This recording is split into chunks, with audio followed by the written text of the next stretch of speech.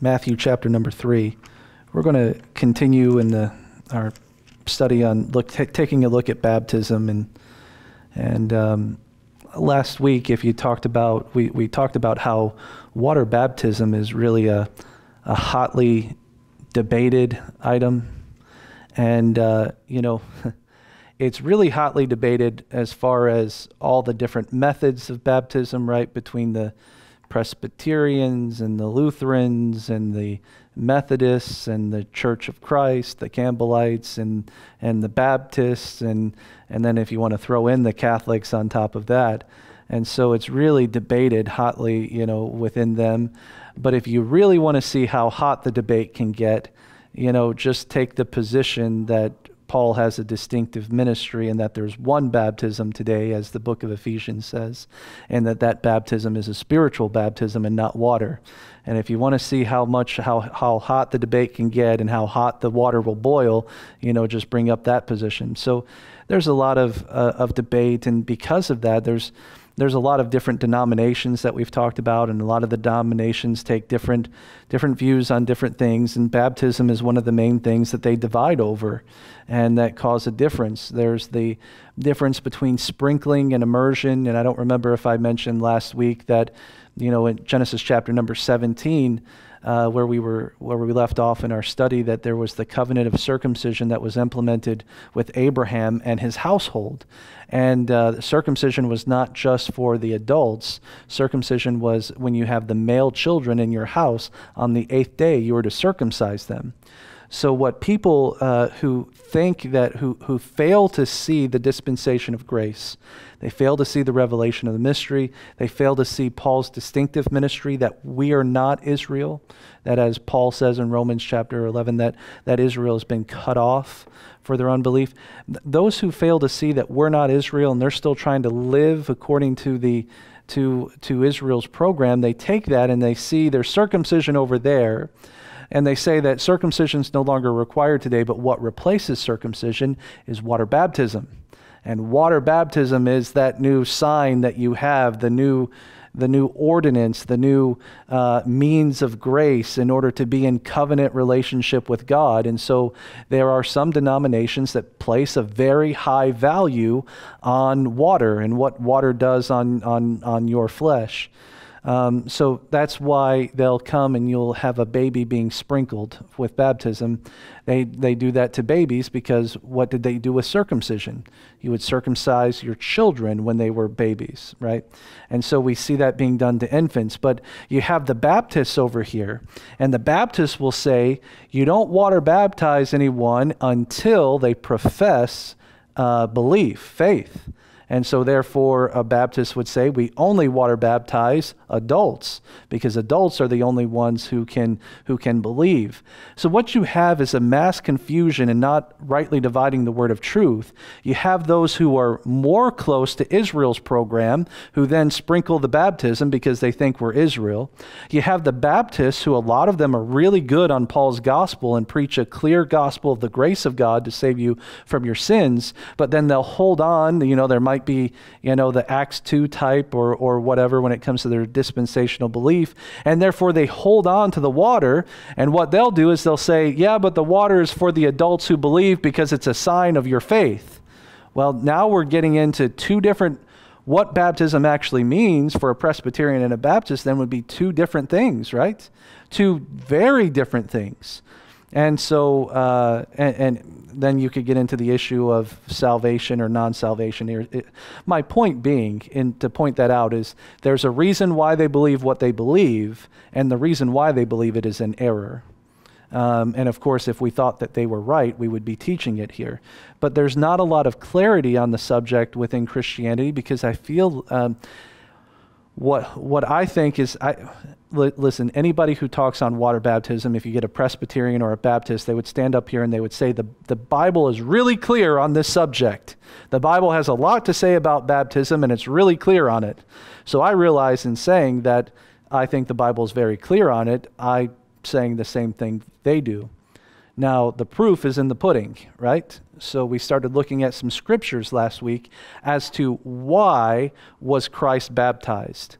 And the reason why we're looking at why Christ was baptized is because one of the reasons or that people will give is that you should be baptized in obedience to Christ, or we're baptized because Christ was baptized, and so therefore we should be uh, obedient to him and uh, in his baptism.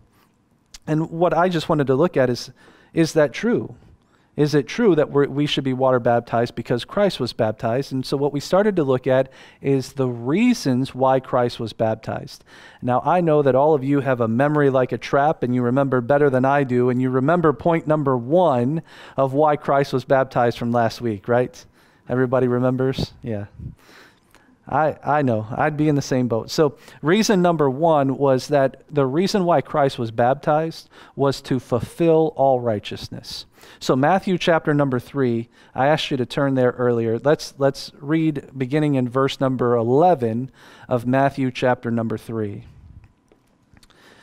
Matthew chapter 3, verse 11.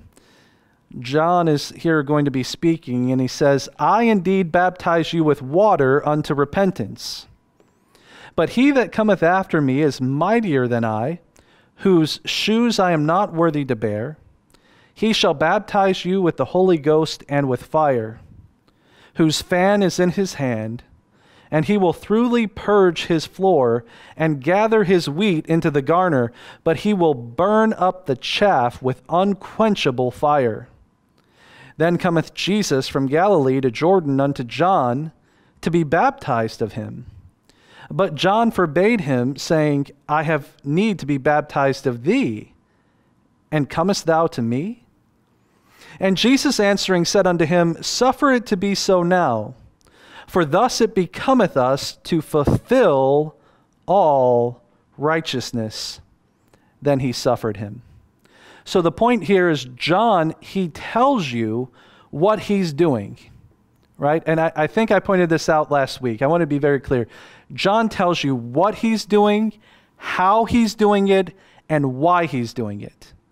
He tells you what he's doing. In verse number 11, I indeed baptize.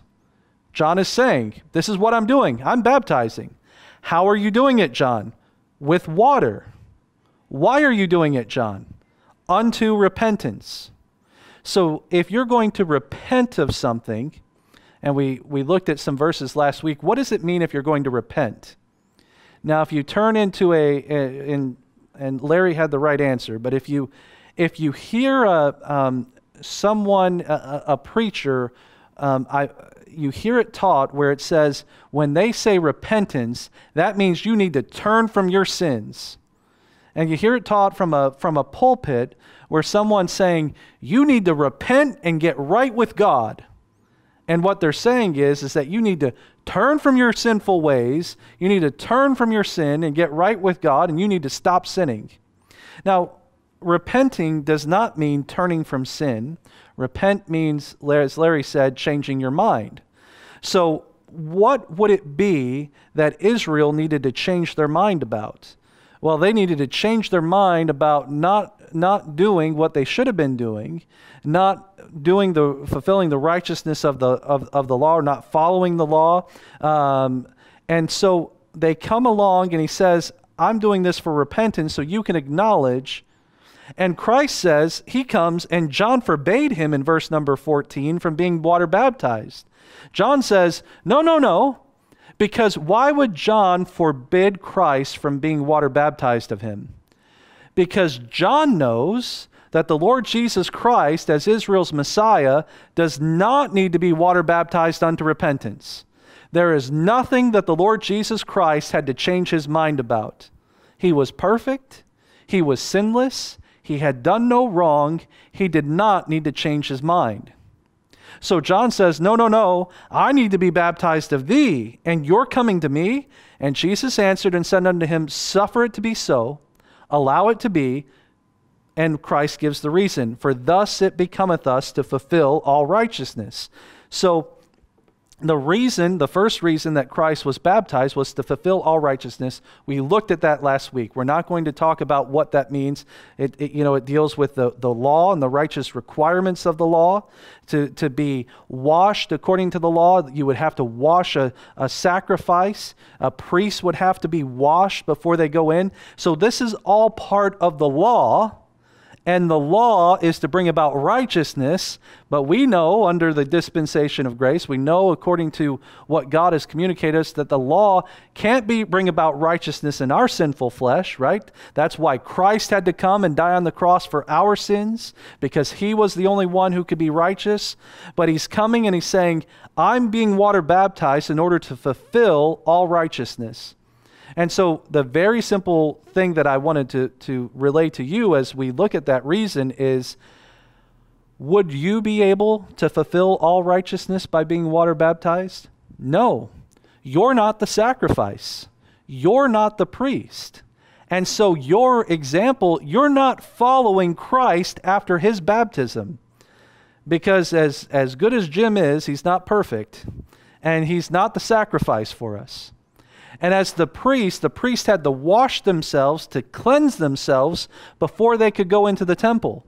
And we talked about in Hebrews last week how the Lord Jesus Christ is the great high priest for Israel, so he would be washed. So reason number 1 that Christ was baptized was to require uh, was um, to fulfill all righteousness. Now, reason number 2 is identification. And reason number two and three are both really an identification, but identification of two different things. Um, he did it to identify himself with Israel, but not just the nation of Israel, because he didn't identify himself with the Pharisees. Because what did the Pharisees do? They rejected the will of God um, what he did is he identified himself with those who were from Israel who were coming out and being water baptized and identifying themselves as the believing remnant in Israel. And so there were, there were believers that were coming out to John's baptism that were saying, I agree with what you're saying, John, about repenting. And, and so they're agreeing with John's pronouncement and saying, I'm going to be water baptized to identify myself with this group of believers. They were repenting and, and, and changing their mind about, uh, uh, about their sinful ways. And this was all part of John the Baptist preparing the way from the, for the Lord because he was turning the hearts of the people of Israel back to God. Look at Luke chapter number 3. Luke chapter number 3.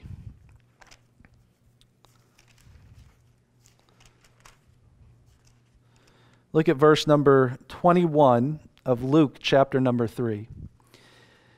It says, Now when all the people were baptized, it came to pass that Jesus also, being baptized and praying, the heaven was opened, and the Holy Ghost descended in a bodily shape like a dove upon him.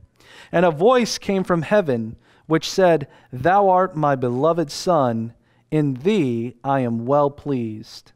Now, what I wanted to point out there is you notice when was it that the Lord Jesus Christ was baptized? Did he wait? You know how you read sometimes in, in the gospel accounts how when Christ was there that he would withdraw himself from the crowd? You, you remember reading that in circum, certain circumstances? Did he wait until everybody had been water baptized and just go out when it would only be him? When was it when he was baptized? Notice what verse number 21 says. Now, when all the people were baptized. So when everybody's out there, when the crowds are out there, when the masses are out there, this is when Jesus came to be baptized. He did it in front of everyone as a testimony to show who he was. He, he, he was baptized when all the people were there to make it known. And he did it to identify himself with those believers who were coming out to John's baptism to be water baptized. Now, also, go back to Isaiah 53. Hold your hand in Mark. Maybe get Mark, uh, get Mark chapter 15. Mark 15, and go back and get Isaiah chapter number 53. Now, the people who were coming out to John's baptism, were these the people that were saying, We're righteous? That we're the good ones? It, it was not, right? Who, who were the ones that were coming out to John's baptism? Sinners. Thank you, Larry. Larry is on point this evening. Isaiah chapter number 53 tells you something about how the Messiah was to be numbered, how he was to show up. Isaiah chapter 53, look at verse number 12. Therefore will I divide him a portion with the great, and he shall divide the spoil with the strong, because he hath poured out his soul unto death. And he was numbered with the transgressors, and he bare the sin of many and made intercession for the transgressors.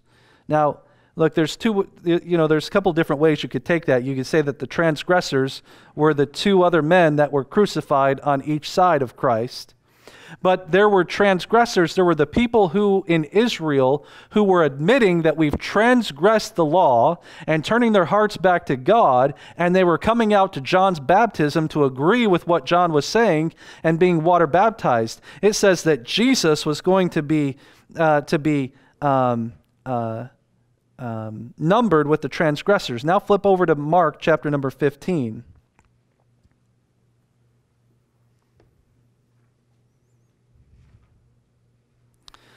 Mark chapter 15, look at verse number 25.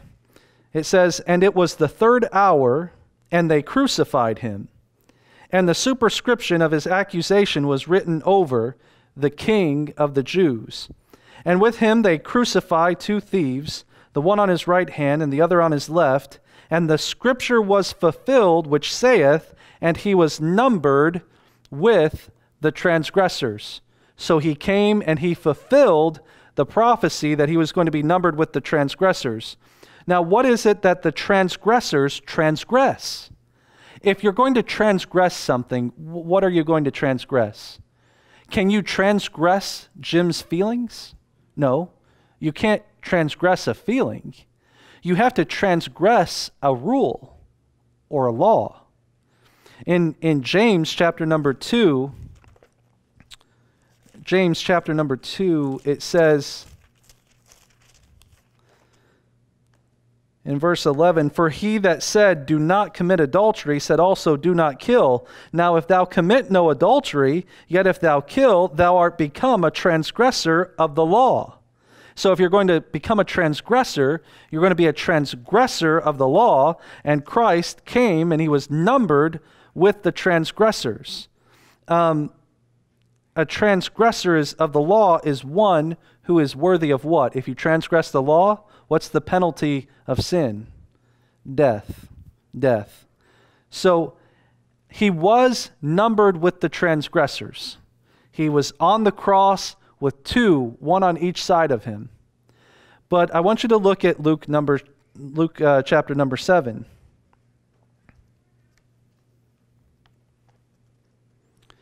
Because not only is he numbered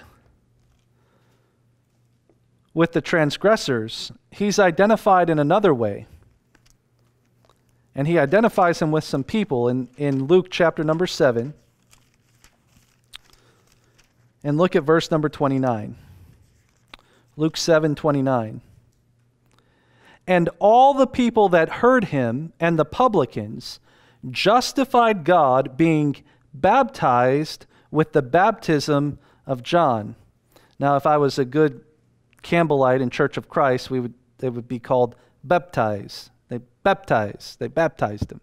Um, but when it says, and all the people that heard him, so John is there, John the Baptist, all the people that heard him and the publicans, they justified God. And how did they justify God? By the way, justifying God means that it's not like they said, God, you're righteous. Let me justify you as we're justified. No, that what they're doing is they're saying that in justifying God, they're saying, God, you're right. They're acknowledging the rightness of God. And all the people that heard John, they, they said that he was right. And how did they acknowledge that John was right? It says, being baptized with the baptism of John. So, um, all the people hear John the Baptist and they, they justify God. They're acknowledging that God's right. And what are they acknowledging that God is right about? John was calling them to baptize unto repentance, right? Something new did start with John. God, God's, God's calling them to repent. And what we're going to see is that something new did start with John, but it was not in the New Testament. Look at Luke chapter number 16.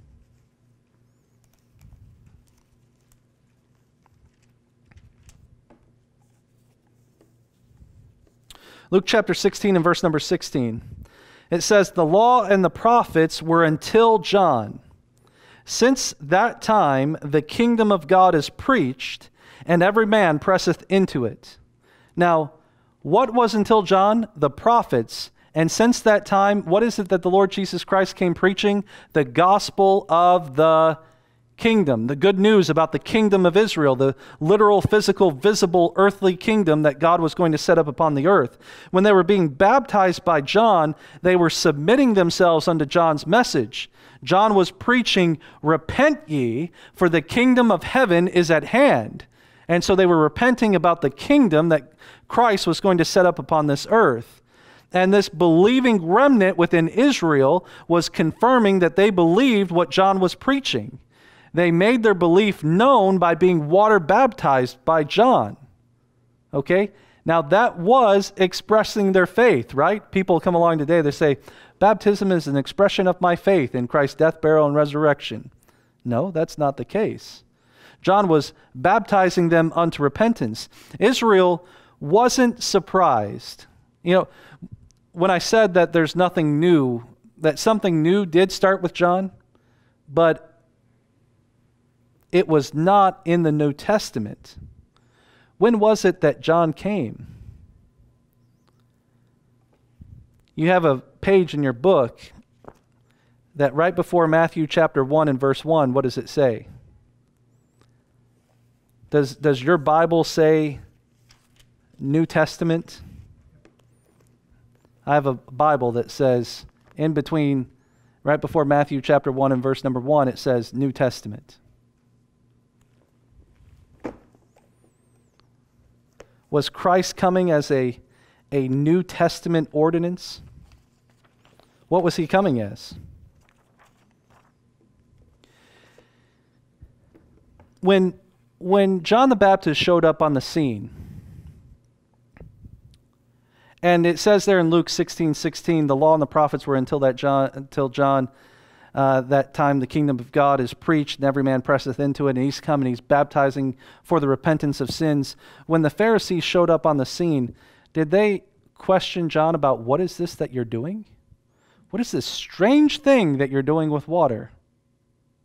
No, that's not what they did. Look, they weren't surprised by it. If baptism was something new, as a New Testament ordinance, and this was something brand new. When the Pharisees showed up, who, you know, knew their scriptures, they just had a heart that was cold towards God. Wouldn't you, don't you think that they would say, What is this strange thing that you're doing with water? But you notice what they said is, they didn't say what it is that, that they're doing. They're saying, Why are, who are you to be doing it? Are you Elijah?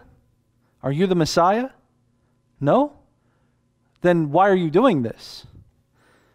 In Ezekiel chapter number 36, look at Ezekiel 36.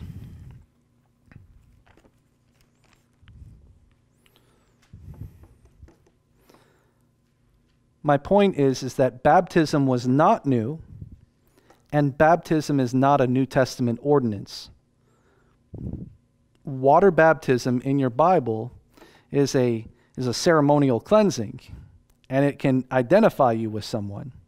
But Ezekiel 26, 36 25 says, Then will I sprinkle clean water upon you, and ye shall be clean. From all your filthiness and from all your idols will I cleanse you. What Israel was doing by being water baptized by God, John, the baptism of repentance, they were acknowledging that God was right. We're a bunch of idol worshiping heathen and we're going to separate ourselves and become a holy nation unto God. That's what they were doing. They were acknowledging it. But look back at Luke chapter number 7. As Israel is acknowledging this and they're coming out to be baptized of John, did Israel's leaders follow John? I'm sorry, did Israel's leaders follow the people? And did they follow John? Luke chapter 7, look at verse number 30.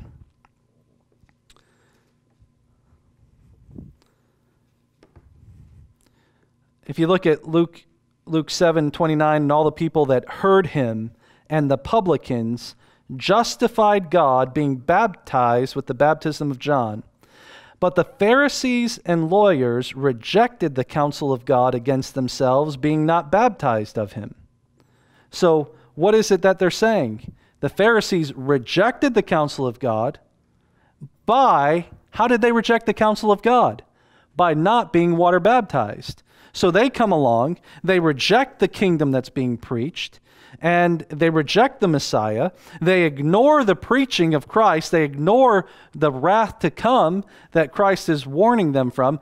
Uh, you know, Christ says, who, who, who told you about the wrath that's to come? You know? The baptism of John was this dividing line in Israel between the believer and the unbeliever for what was to be Israel's kingdom program. It identified those who were believing in God and what God said through John, and those who were just following the Pharisees uh, um, um, without uh, acknowledging God. Who they don't justify him. And so the water baptism made it clear who's, who was on whose side. And when the Lord Jesus Christ came to be baptized, who, when did he get baptized? When all the people were there.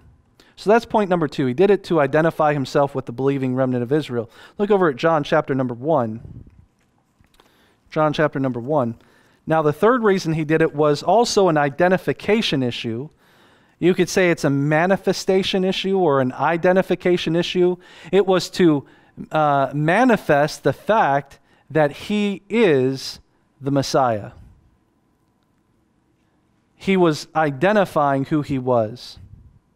Look at verse number 29 of John chapter number 1.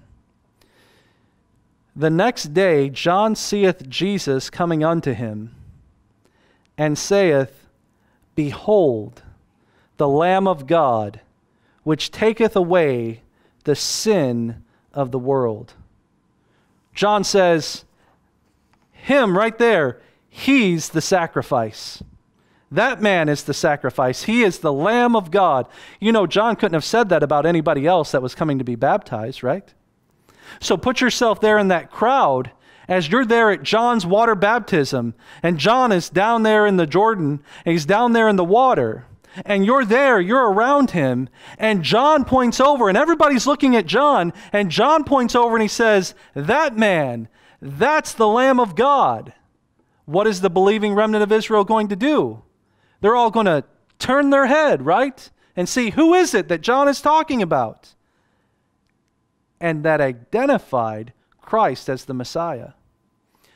Before Christ's earthly ministry, before he began his earthly ministry, when he was, what is about 30 years old, when he was a boy, did he go around saying, na na na na na, I'm the Messiah, you know, to all the other kids on the playground? He, he didn't do that. He wasn't manifesting that right?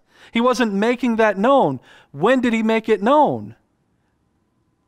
John's water baptism. Look at verse number 30. We read 29, right? Look at verse number 30. John says, This is he of whom I said. Now, what does that tell you? That tells you that John has already been communicating some information to this believing remnant of Israel, right? He's already been preaching something about the Messiah to come uh, and about who he is. And so when he says in verse number 30, This is he of whom I said, After me cometh a man which is preferred before me, for he was before me. And I knew him not but that he should be made manifest to Israel. Oh, do you see that? Do you see why Christ was water baptized? John the Baptist says that this is he, uh, the man who was prefer- preferred before me, And I knew him not, but that he should be made manifest to Israel. We're going to make him known of who he is. Therefore am I come baptizing with water. Oh, why was it that John came baptizing with water? Well, we read in another verse that he's baptizing Israel unto repentance to identify them as the believing remnant. And he says here in John chapter 1 and verse 31 that he's come to manifest to Israel who their Messiah is. And he did that by water baptizing the Lord Jesus Christ. Not because that Christ needed to be water baptized for repentance, Christ was being manifest. Now, John was baptizing this to manifest who he was. And how did John manifest that? We're going to read some very some verses that you're likely to be very familiar with. But when we read these verses, I want you to think about what we've just talked about about the reason why John water baptized. He said it to manifest who Christ is. And now read with me, if you will, verse number 32. And John bare record. Okay, John's getting ready to say something that's going to be recorded. That is, this is this is something that's important. And John bare record saying, I saw the Spirit descending from heaven like a dove, and it abode upon him. And I knew him not, but he that sent me to baptize with water, the same said unto me, Upon whom thou shalt see the Spirit descending and remaining on him, the same is he which baptizeth with the Holy Ghost. And I saw and bear record that this is the Son of God. Huh. That's amazing, isn't it? He says, The one who sent me to baptize told me. I didn't know who it was going to be, right?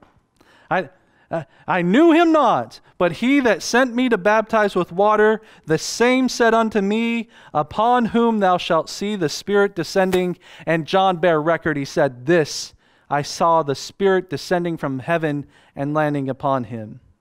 So, um, he's the Lord Jesus Christ is identified through John's baptism through John saying that the Holy Ghost uh, came upon him. In Isaiah chapter number 42, in prophecy, Isaiah 42 1, it says, Behold, my servant whom I uphold, mine elect, in whom my soul delighteth, I have put my spirit upon him. And so in the New Testament, you come along and they say, The one on whom you see the Spirit descending and staying upon, this is he. So when John was baptizing and Christ came to his baptism, he testified to who Christ was. He was the Messiah. Now, John was letting Israel know who the Messiah was. Turn over to John chapter number 10. John chapter number 10.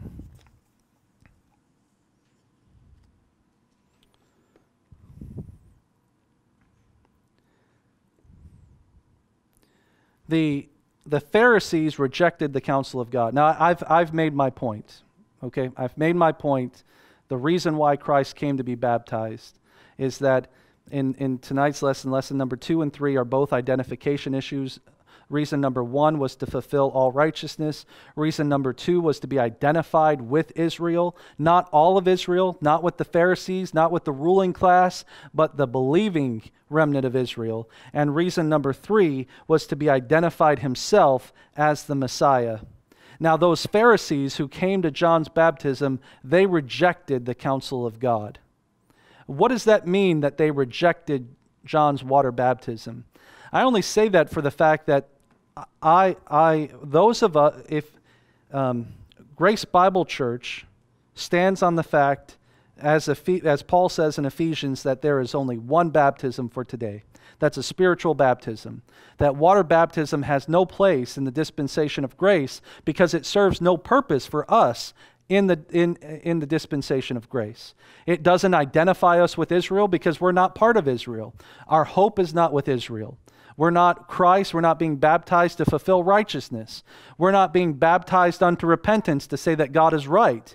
Because what Paul tells us is the moment that we believe and put our faith in the cross, that God justifies us, that he imputes his righteousness to us, and that we're made right with God.